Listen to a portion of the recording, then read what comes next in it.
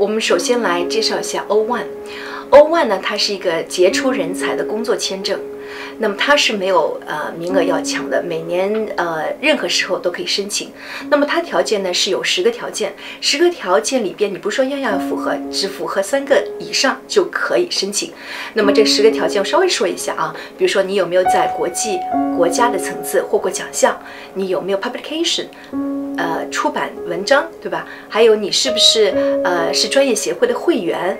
是不是在重要的机构担任重要职责？有没有被媒体报道过啊？如果是艺术人才的话，那你是不是有商演的非常好的记录？比如说是呃票房之类的啊？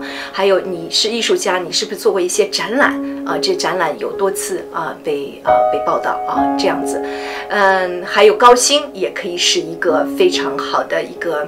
一个一个证明的条件，比如说有些企业家，优秀企业家其实也可以办，对吧？我我扯稍微扯得远了，我就跟跟大家说一下，就是他们有些高薪的话，也可以作为一个啊条件。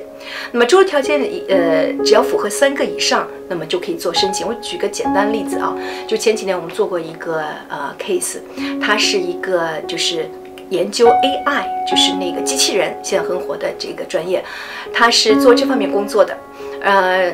H1B 没有抽上，但是呢，我们呃，他们的雇主就来跟我们商量，就说这个人员呢是非常优秀，看看能不能从 O1 来着手。那么发发现他呢是可以做，因为他有 publication，他当时还有啊这个 patent，这 patent 呢可以作为 original contribution，也是一个条件之一。他还有做过别人的评审，比如说杂志社邀请他做别人文章的评审，他也有这样子。那他也获过一些奖项，所以我们这个案子呢就为这。这个公司做成了，所以这个申请人非常安心的在公司工作啊。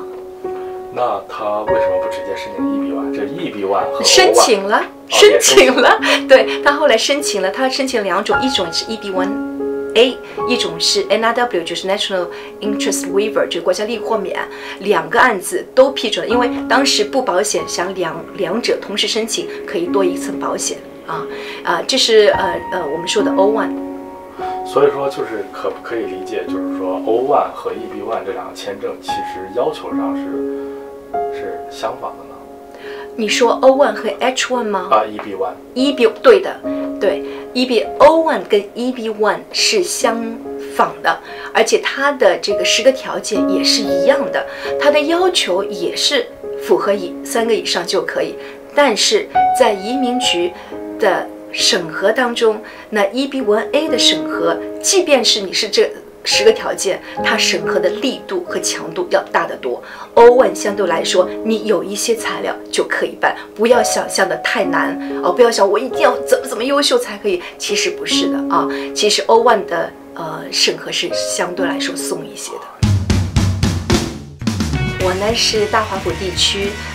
小辉国际律师事务所的合伙人律师于小辉，在零七年的时候成立了自己的呃律师事务所，一直到现在。